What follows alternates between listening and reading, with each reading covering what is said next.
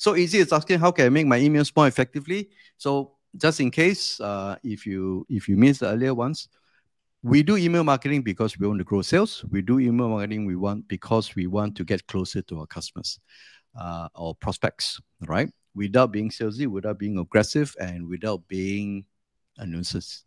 So in order to do that, we then obviously need to add value and communicate uh, what we do, communicate how we can help them, and communicate the uh, the benefits or the outcome of using our products or services. All right. So in a nutshell, that's what it is.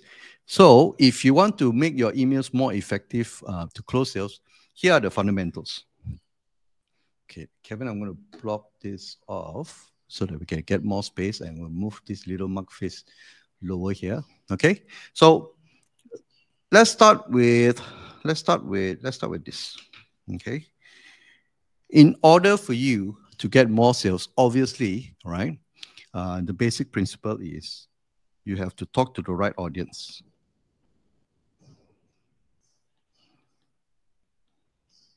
Okay, I think this is pretty obvious, right? So if you're going to sell, uh, let's say an IT products or security products, for example, you need to know or you need to speak to the person who is responsible for this. If you speak to, let's say, a salesperson, although they work in an organization, and they are nevertheless affected by a, an IT security case or situation or customer data breach or whatever it is, but they are not the right people, right? So you need to then target the right audience. So if I'm doing email marketing, I need to speak to people who are either doing email marketing or looking at it or responsible for marketing, specifically in the email part. But if I speak to somebody who is doing, let's say, media buying for Facebook ads and all those things, then my email marketing pitch or message may not resonate with them. So right audience is the first thing you need to get through. Second thing is, once you get the right audience, you then need to write, have the right content that addresses their pain or problems. Uh, run, I'm running short of space to write. Okay, let me reduce this to be smaller. Okay, let's extend here. And you agitate the problem, okay, or the pain that if they don't take an action, for example, either buy your services or do something, then it will become worse in maybe a short period of time or long period of time. You know, for example, let's say if you don't do email marketing as part of your, let's say B2B business, you're going to lose out to your competitors. Why? Because your competitors are communicating on a daily basis or weekly basis to your prospects or your customers while you are not. And people may forget you over time. Okay.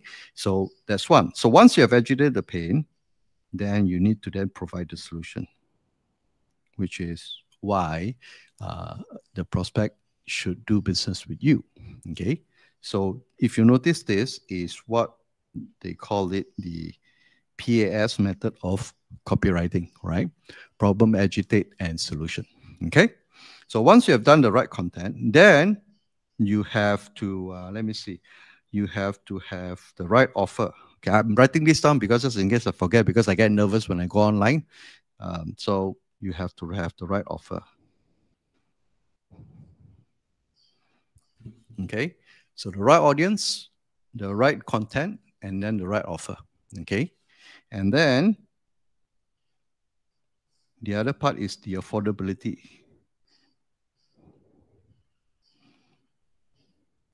B I L L I. Okay, I'm going to go slow today. All right.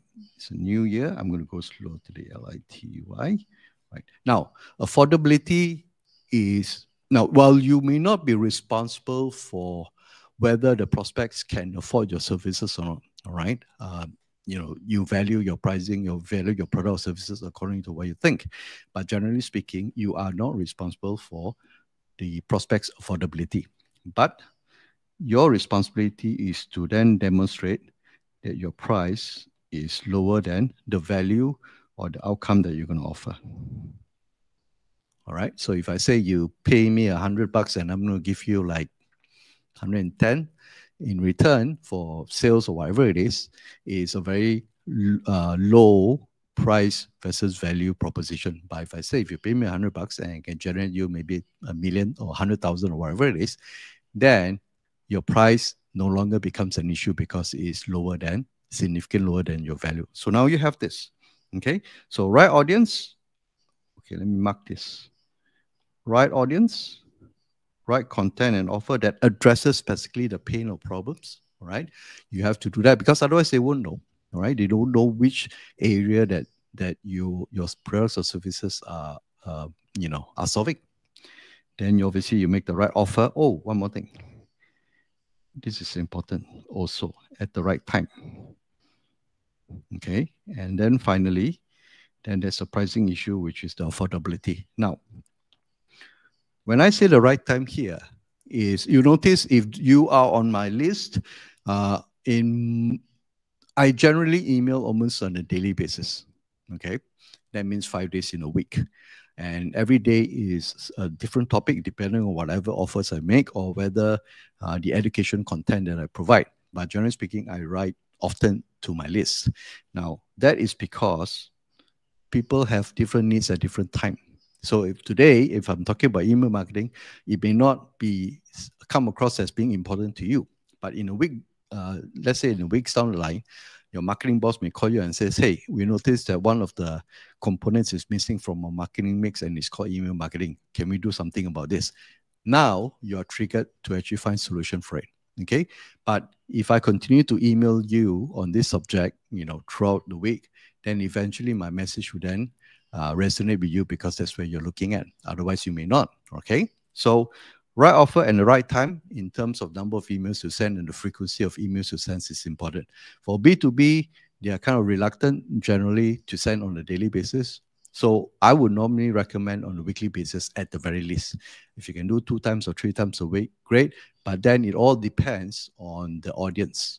Okay. So certain group of audience, for example, they don't like too many emails and certain group of audience they welcome. So also it boils back to the content you share. If your content is uh, very salesy in general, then yes, people would definitely mark or bin your emails into spam. So you need to start with value. Okay, so why am I leaving this first portion empty? Now this is the important segment that a lot of us, myself included, at one point we actually miss.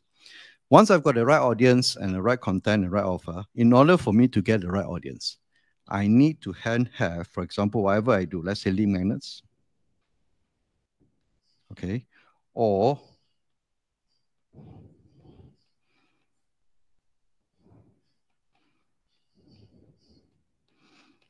my attraction mechanism, okay, uh, the stuff that will attract the right audience into here.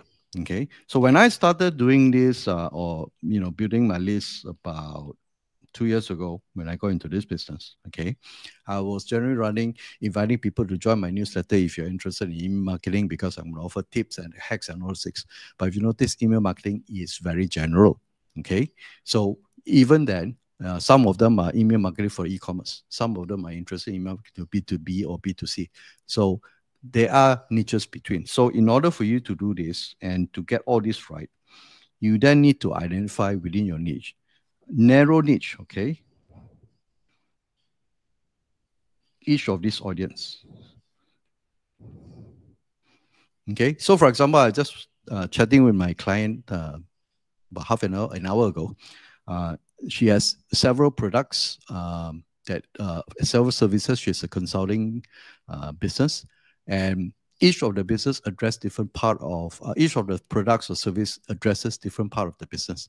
So it is important to have different set of lead magnets for each of these niche. And once you do this, for example, let's say if I'm only targeting the CFO or finance uh, people, so my lead magnet must call out specifically to this group. And once I have that, can I change the color? Once I have that, then when I flow here, I've got the right audience. I'm going to talk about the right content related to the finance or CFO space. I'm going to make an offer at the right time to them. And then the offer must be, you know, ROI positive, right? Or the, the whatever you do must be, the outcome must be measurable. And then you then have a sale. Now, the process here may take one week. Or in my case, let me share with you. Today, I just received an email from uh, a member from our list, and they have uh, They've been a subscriber since February 20, 2022. right? Technically from January, that means they've been with me for more than a year. Only today, after uh, I calculated about 258 emails that I sent, only today they decided to reply back and request for a meeting. Okay, so to if you're wondering how long does it take, yes, it can be as quick as one week and it can be as long as a year because it's the right timing and the right people. Okay, uh, that is email is a long game. It's not like ads where you place ads, you get response, or you get people to reply because uh, your ad creative is good, right? It's not that, but the beauty is you're keeping uh, in touch with the customer throughout and you're showing them that you're showing up almost every day or almost every week. Uh, and when the time is right, then it becomes easier. The sales naturally becomes easier as long as you have the right offer, right time, and it's affordable to the customer. Okay? Hi, and thanks for watching. If you need my help to set up your email marketing engine for your business, just click on the link here and you see a list of services that will help you grow your leads and sales and also increase your profits through emails. I'm looking forward to working with you soon.